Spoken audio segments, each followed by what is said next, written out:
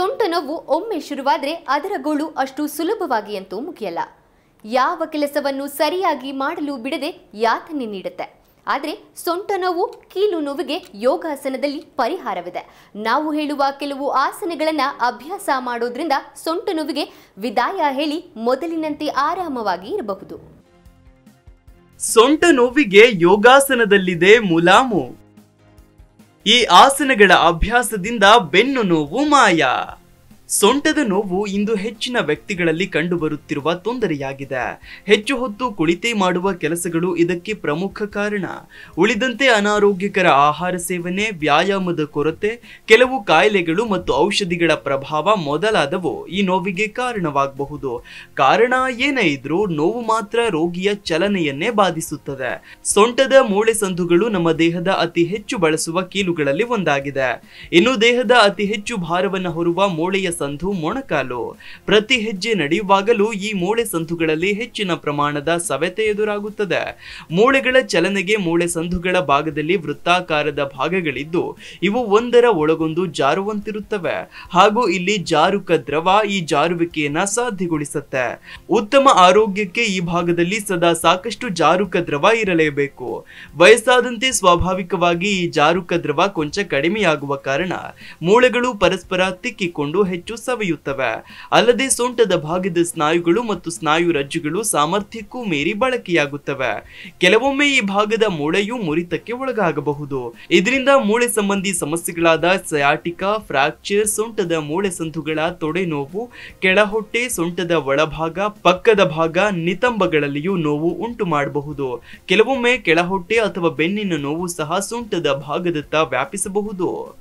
ಈ ಸೊಂಟ ನೋವಿನಿಂದ ಶಾಶ್ವತ ಪರಿಹಾರ ಪಡೆದುಕೊಳ್ಳಲು ಕೆಲವು ಯೋಗಾಸನಗಳ ಅಭ್ಯಾಸ ಪ್ರಯೋಜನಕ್ಕೆ ಬರುತ್ತೆ. ಹೌದು, ಯೋಗಾಸನವನ್ನ ನಿಯಮಿತ ಅಭ್ಯಾಸ ಮಾಡುತ್ತಾ ಬಂದರೆ ಸೊಂಟದ ಕೀಲುಗಳು ಮತ್ತು ಸ್ನಾಯುಗಳಲ್ಲಿ ಸೆಳೆತ ಎದುರಾಗುವುದನ್ನ ತಡೆಯಬಹುದು ಇದು ಆ ಭಾಗದಲ್ಲಿ ರಕ್ತ ಪರಿಚಲನೆಯನ್ನ ಹೆಚ್ಚಿಸುತ್ತದೆ. ಈ ಆಸನಗಳು ಒಂದಕ್ಕಿಂತ ಹೆಚ್ಚು ಪ್ರದೇಶಗಳನ್ನ ಗುರಿಯಾಗಿಸಿಕೊಳ್ಳುತ್ತವೆ. ಆದ್ದರಿಂದ ಈ ಆಸನಗಳಿಂದ ಕೇವಲ ಸೊಂಟ ಮಾತ್ರವಲ್ಲ, ನೋವನ್ನ ಹೊರಸೂಸುವ ಇತರ ಭಾಗಗಳಿಗೂ ಸೂಕ್ತ ವ್ಯಾಯಾಮ ದೊರೆತು ನೋವು ಶಮನಗೊಳ್ಳುತ್ತದೆ. ಹೀಗಾಗಿ ಸೊಂಟದ ನೋವನ್ನು ನಿವಾರಿಸಬಲ್ಲ ಅಂತಹ ಪ್ರಯೋಜನಕಾರಿ ಯೋಗಾಭ್ಯಾಸಗಳ ಕುರಿತಾಗಿಯೇ ನೋಡ್ತಾ ಹೋಗೋಣ. ಆನಂದ ಬಾಲಾಸನ. ಆನಂದ ಬಾಲಾಸನ. ಹೆಸರೇ ಸೂಚಿಸುವಂತೆ, ಮಗುವೊಂದು ಆನಂದದಿಂದ ತನ್ನ ಪಾದಗಳನ್ನ ಕೈಗಳಿಂದ ಎಳೆದುಕೊಂಡಿರುವಂತೆ ಈ ಭಂಗಿ ಕಾಣಿಸಿಕೊಳ್ಳುತ್ತದೆ. ಈ ಆಸನ ನಮ್ಮ ಬಾಲ್ಯದ ತೊಟ್ಟಿಲಿನಲ್ಲಿದ್ದ ದಿನಗಳಿಗೆ ಕೊಂಡೊಯ್ಯುತ್ತದೆ. ಈ ಆಸನದಲ್ಲಿ ಕೈ ಮತ್ತು ಕಾಲುಗಳಿಗೆ ಹೆಚ್ಚಿನ ಸೆಳೆತ ದೊರಕುತ್ತದೆ ಹಾಗೂ ಬೆನ್ನಿಗೂ ಉತ್ತಮ ಸೆಳೆತ ದೊರಕುತ್ತದೆ. ನಿತಂಬಗಳ ಸ್ನಾಯುಗಳು ವಿಸ್ತರಿಸಲ್ಪಡುತ್ತವೆ ಹಾಗೂ ಕೈ ಕಾಲುಗಳಲ್ಲಿ ಹೊಸ ರಕ್ತ ಪರಿಚಲನೆ ಕಾಣಿಸಿಕೊಳ್ಳುತ್ತದೆ. ಈ ಮೂಲಕ ಸೊಂಟದ ಕೀಲುಗಳಿಗೆ ಉತ್ತಮ ಮಸಾಜ್ ದೊರಕಿದಂತಾಗುತ್ತೆ ಹಾಗೂ ನೋವು ಇಲ್ಲವಾಗುತ್ತೆ. ಆಂಜನೇಯಾಸನ ಆಂಜನೇಯಾಸನದಿಂದ ನಿಮ್ಮ ಸೊಂಟದ ಕೀಲುಗಳು ಮತ್ತು ಸ್ನಾಯುಗಳ ಮೇಲೆ ನಿರ್ದಿಷ್ಟವಾಗಿ ಕಾರ್ಯನಿರ್ವಹಿಸುವ ಕಡಿಮೆ ಪ್ರಾಬಲ್ಯದ ವ್ಯಾಯಾಮವಾಗಿದೆ. ಈ ಆಸನದಿಂದ ಸೊಂಟದ ಸ್ನಾಯುಗಳು ಹೆಚ್ಚು ಸೆಳೆತಕ್ಕೆ ಒಳಗಾಗುತ್ತವೆ ಹಾಗೂ ರಕ್ತ ಪರಿಚಲನೆಯೂ ಹೆಚ್ಚುತ್ತದೆ. ಪರಿಣಾಮವಾಗಿ ಸ್ನಾಯುಗಳು ಸಡಿಲಗೊಂಡು ಸೊಂಟದ ನೋವು ಶೀಘ್ರವೇ ಇಲ್ಲವಾಗುತ್ತದೆ. ಈ ಆಸನವನ್ನ ನಿಧಾನವಾಗಿ ಪ್ರಾರಂಭಿಸಿ ಸೊಂಟದ ನೋವು ತಾಳಿಕೊಳ್ಳುವಷ್ಟು ಮಾತ್ರವೇ ಕಾಲನ್ನ ಸೆಳೆಯಬೇಕು.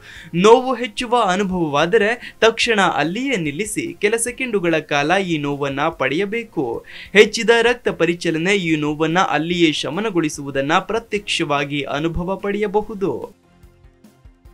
ಅರ್ಧ ಮತ್ಸ್ಯೇಂದ್ರಾಸನ.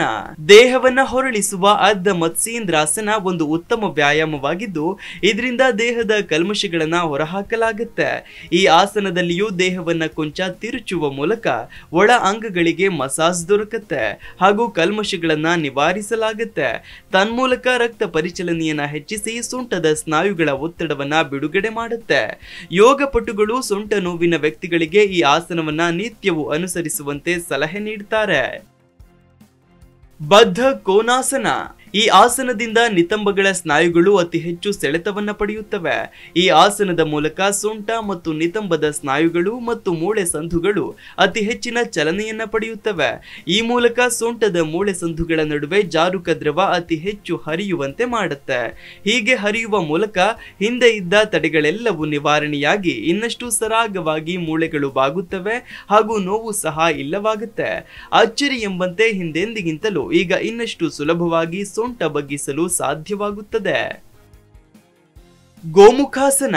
ಹೆಸರೇ ಹೇಳುವಂತೆ ಗೋಮುಖಾಸನ ಅಥವಾ ಹಸುವಿನ ಮುಖದ ಭಂಗಿಯ ಈ ಆಸನದಿಂದ ಸ್ನಾಯುಗಳನ್ನು ಸಡಿಲಗೊಳಿಸಲು ಮತ್ತು ಶಾಂತ ಪ್ರಜ್ಞೆಯನ್ನು ಹರಡಲು ಸಾಧ್ಯವಾಗುತ್ತೆ. ನಿಮ್ಮ ಕಾಲುಗಳನ್ನು ಒಂದರ ಮೇಲೊಂದು ಜೋಡಿಸಿದಾಗ ಸ್ನಾಯು ಸ್ನಾಯು ರಜ್ಜು ಕೀಲುಗಳಲ್ಲಿ ಪ್ರಚೋದನೆ ಉಂಟಾಗುತ್ತೆ ಹಾಗೂ ರಕ್ತ ಪರಿಚಲನೆ ಹೆಚ್ಚುತ್ತದೆ. ಬೆನ್ನುಹುರಿ ಈ ಒತ್ತಡಕ್ಕೆ ಪ್ರತಿಕ್ರಿಯೆಯಾಗಿ ಸ್ನಾಯುಗಳನ್ನು ವಿಶ್ರಾಂತಿ ಪಡೆಯಲು ಸಂಕೇತಿಸುತ್ತದೆ.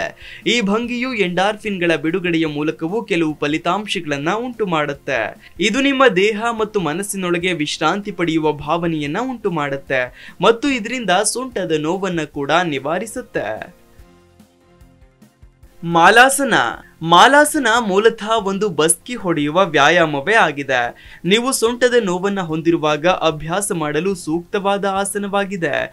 ಯಾಕಂದ್ರೆ ಅದು ನಿಮ್ಮ ಸೊಂಟದ ಸ್ನಾಯುಗಳ ಸೆಡೆತವನ್ನ ಸಡಿಲಿಸಿ ರಕ್ತ ಪರಿಚಲನೆ ಹೆಚ್ಚಿಸುತ್ತದೆ. ಇದು ನಿಮ್ಮ ಸೊಂಟದ ಕೀಲುಗಳನ್ನ ಬಲಪಡಿಸಿ, ಈ ಭಾಗದ ಸ್ನಾಯುಗಳನ್ನ ಬಲಪಡಿಸುತ್ತೆ. ತನ್ಮೂಲಕ ಸೊಂಟದ ನೋವು ಮತ್ತು ಬಿಗಿತವನ್ನ ಸುಲಭವಾಗಿ ನಿವಾರಿಸುತ್ತೆ. ರಾಜಕಪೋಟಾಸನ. ಪಾರಿವಾಳದ ಭಂಗಿಯನ್ನ ಹೋಲುವ ಈ ಆಸನ ವಾಸ್ತವದಲ್ಲಿ ಏಕಪಾದ ರಾಜಕಪೋಟಾಸನ ಎಂದು ಕರೆಯಲಾಗುತ್ತೆ. ಯಾಕಂದ್ರೆ ಒಂದು ಪಾದವನ್ನ ಒಂದು ಬಾರಿಗೆ ಸೆಳೆತಕ್ಕೆ ಒಳಗಾಗಿಸುವ ಮೂಲಕ ಆ ಭಾಗದ ನೋವನ್ನ ನಿವಾರಿಸಲು ಸಾಧ್ಯವಾಗುತ್ತೆ. ಈ ಆಸನದಲ್ಲಿ ಸೊಂಟದ ಸ್ನಾಯುಗಳನ್ನ ಅಪಾರವಾಗಿ ವಿಸ್ತರಿಸುತ್ತೆ. ಇದರಿಂದಾಗಿ ಅಂತರ್ನಿರ್ಮಿತ ಒತ್ತಡವನ್ನ ಬಿಡುಗಡೆ ಮಾಡುತ್ತೆ. ಇದು ಜಾರುಕ ದ್ರವಗಳ ಸರಿಯಾದ ಹರಿವನ್ನ ಖಾತ್ರಿಗೊಳಿಸುತ್ತೆ. ಹಾಗೆಯೇ ಸೊಂಟದ ಪ್ರದೇಶದಲ್ಲಿ ಉಂಟಾಗಿದ್ದ ತಡೆಗಳನ್ನ ಯಶಸ್ವಿಯಾಗಿ ನಿವಾರಿಸುವ ಮೂಲಕ ಸೊಂಟ ಮತ್ತು ನಿತಂಬಗಳ ಸ್ನಾಯುಗಳನ್ನ ಹುರಿಗಟ್ಟಿಸುತ್ತದೆ. ಈ ಆಸನವನ್ನ ಎಡ ಮತ್ತು ಬಲಕಾಲುಗಳಿಗೆ ಪ್ರತ್ಯೇಕವಾಗಿ ಜೋಡಿಯಾಗಿ ನಿರ್ವಹಿಸಬೇಕು. ಗುಣಪಡಿಸುವುದಕ್ಕಿಂತ ತಡೆಗಟ್ಟುವುದು ಉತ್ತಮ ಎಂದು ಯೋಗಪಟುಗಳು ವಿವರಿಸ್ತಾರೆ. ಆದ್ದರಿಂದ ಸೊಂಟದಲ್ಲಿ ಯಾವುದೇ ನೋವು ಮತ್ತು ಅಸ್ವಸ್ಥತೆ ಈಗ ಇರದೇ ಇದ್ರೂ ಮುಂದೆ ಎದುರಾಗುವುದನ್ನು ತಪ್ಪಿಸಲು ಆದಷ್ಟು ಬೇಗನೆ ಯೋಗಾಭ್ಯಾಸವನ್ನು ಪ್ರಾರಂಭಿಸುವುದು ಒಳ್ಳೆಯದು. ಒಂದು ವೇಳೆ ನಿಮಗೆ ಈಗಾಗಲೇ ಸೊಂಟ ನೋವು ಇದ್ದರೆ ಆರಂಭದಲ್ಲಿ ನೀವೇ ಸ್ವತಃ ಅನುಸರಿಸದೆ ಅನುಭವಿ ಯೋಗಪಟುಗಳ ಮೇಲ್ವಿಚಾರಣೆಯಲ್ಲಿ ನೀವು ಇದನ್ನು ಮಾಡುವುದು ಒಳಿತು. ಒಮ್ಮೆ ನಿಮಗೆ ಈ ಆಸನಗಳು ರೂಢಿಯಾದರೆ ಸ್ವತಃ ನೀವೇ ಅಭ್ಯಾಸ ಮುಂದುವರಿಸಬಹುದು. ಈ ಮೂಲಕ ಸೊಂಟ ನೋವಿಗೆ ಪರಿಹಾರ ಕಂಡುಕೊಳ್ಳಬಹುದು. Desk bureau Zee Kannada news. Zee Kannada news ಈಗ ನಿಮ್ಮ ಮನೆಯಲ್ಲೇ ನೋಡಿ. ಎಲ್ಲ ಕೇಬಲ್ಗಳಲ್ಲಿ ಈಗ ಲಭ್ಯ. ಸನ್ ಡೈರೆಕ್ಟ್ ಇನ್ನೂರ ತೊಂಬತ್ತೆರಡು, ಜಿಯೋ ಟಿವಿ ಸಾವಿರದ ಮುನ್ನೂರ ಮೂವತ್ನಾಲ್ಕು ಯು ಡಿಜಿಟಲ್ ನೂರ ಅರವತ್ತೆರಡು, ಸಿಟಿ ಕೇಬಲ್ ಐವತ್ತೊಂದು, ಜಿ ಟಿ ಪಿ ಎಲ್ ಹದಿನೇಳು, ಅಭಿಷೇಕ್ ಕೇಬಲ್ಸ್ ಎಂಟುನೂರ ಇಪ್ಪತ್ತೊಂದು. ರಾಕ್ ಲೈನ್ ಟೆಲಿಕಮ್ಯುನಿಕೇಶನ್ ಐವತ್ತೊಂದು. ಶ್ರೀ ಬಸವೇಶ್ವರ ನಂಬರ್ ಅರವತ್ತು. ವಿನಾಯಕ ಡಿಜಿಟಲ್ ನಂಬರ್ ಐವತ್ಮೂರು. ಇನ್ ಡಿಜಿಟಲ್ ನಂಬರ್ ಎಂಟುನೂರ ತೊಂಬತ್ತಾರರಲ್ಲಿ. ನಿಮ್ಮಿಸ್ತದ ಜಿ ಕನ್ನಡ ನ್ಯೂಸ್ ನೋಡಿ ಆನಂದಿಸಿ.